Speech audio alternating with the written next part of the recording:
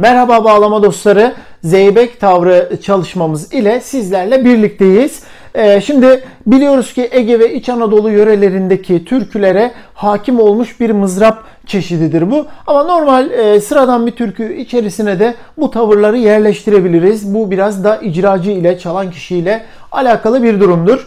Diyelim e, notaları da açıklama bölümünde paylaştığımızı söyleyelim ve başlayalım. 4 kalıp halinde gelecek mızraplar. Yani hep bir kalıpla çalmayacağız. Hep aynı mızrap olmayacak. E, ortak yönleri var. Şimdi mesela birinci kalıptan başlayacağız. Birinci kalıbın süre dağılımından bahsedersek 8'lik noktalı sonra iki tane bünyesinde e, 64'lük barındırıyor. Sonra da bir tane 32'lik barındırıyor. Şimdi burada ilk vuracağımız mızrap şu la karar olarak bildiğimiz karar sesidir. Üstten aşağı bir 8'lik noktalı gelir. Ardından da mi'ler 64'lüktür. Alt tele zaten basılı tutuyoruz mi'ye. Alt üst şeklinde tek tek vurarak gelir. La mi mi alt üst sonra da 1.32'lik tekrardan karar ses çekersin. La mi mi la Bilerek yavaş yapıyorum. Tam süre bu değil. La mi mi la. La mi mi la. Evet tam tavrını yapalım.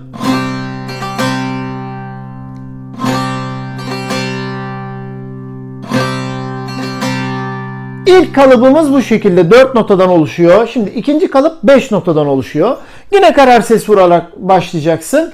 16'lık noktalı yine ortak özellik olarak 2 tane 64'lük mi veriyor. Sonra da 2 tane 16'lık la kalıyor burada. Sonlar hep yukarı yukarı çekilerek bitecek. Zeybek tavrında bu çok çok önemli ortak konulardan birisidir. Şimdi la kararı vuruyorum 16'lık noktalı.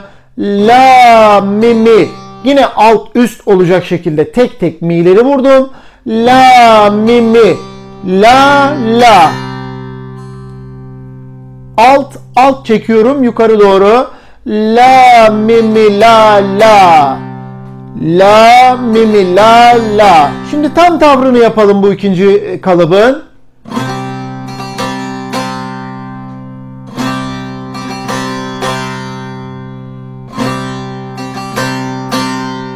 Evet. Ardından üçüncü kalıba geliyorum. Üçüncü kalıp 6 notadan oluşuyor. Biri 16'lık, biri 32'lik.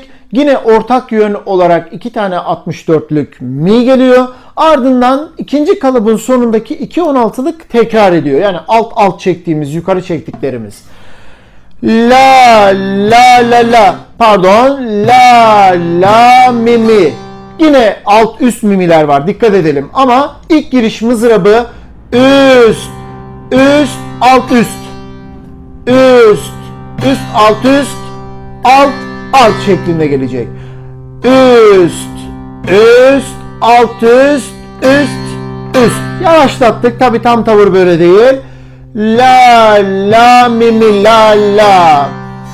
La, la, mi, mi, la, la la la mi mi la la şeklinde üçüncü kalıpta gelmiş olacak. Dördüncü kalıbımız 7 notadan oluşacak. Bu da tamamen bambaşka ama ortak yön olarak 64'lük mi'ler ve son iki yukarı çekişler var.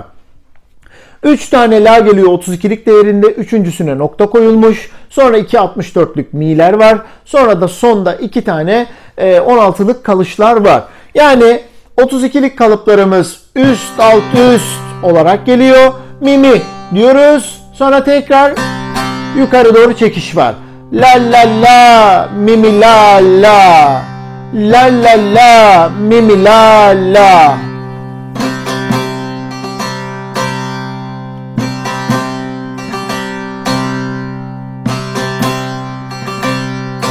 Mimiler 64'lük olduğu için hız istiyor e, acilite istiyor. Tabi bu hızı oluşturmamız biraz zor olur.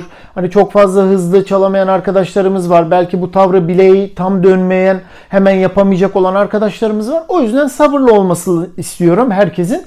Güzel bir şekilde notayı karşınıza alın. Bilmeseniz bile mızrap yönlerine bakın. Oluşumun nasıl olduğunu tekrar tekrar ederek e, oturtmaya çalışın. 1, 2, 3, 4 kalıbı peş peşe getiriyorum. Haydi dikkatlice izleyin.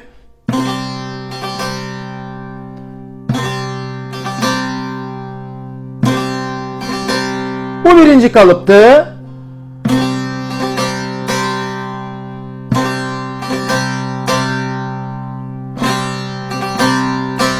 Bu ikinci kalıp.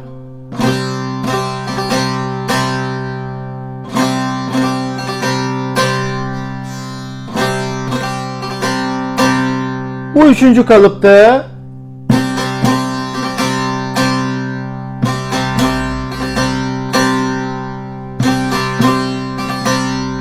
Bu da dördüncü kalıp. Her kalıpta şuna çok dikkat edelim. Mimiler çok önemli. Tek tek vuracağız mimileri ve alt üst olma şartı 64'lük şartına da dikkat edeceğiz. Yani bunlar kalıp kalıp değişecek. E, türkülerde de bunları iyice taçlandıracağız. Taşları birbiriyle birleştirip yerlerine koyacağız. E, uzun sapını da zaten e, yayınlamış oluyoruz. Olacağız da hepsini ayrı ayrı çalışacağız. Hepsine yer vereceğiz. Herkese ilgi ve alakasından ötürü teşekkür ederim. Görüşmek dileğiyle.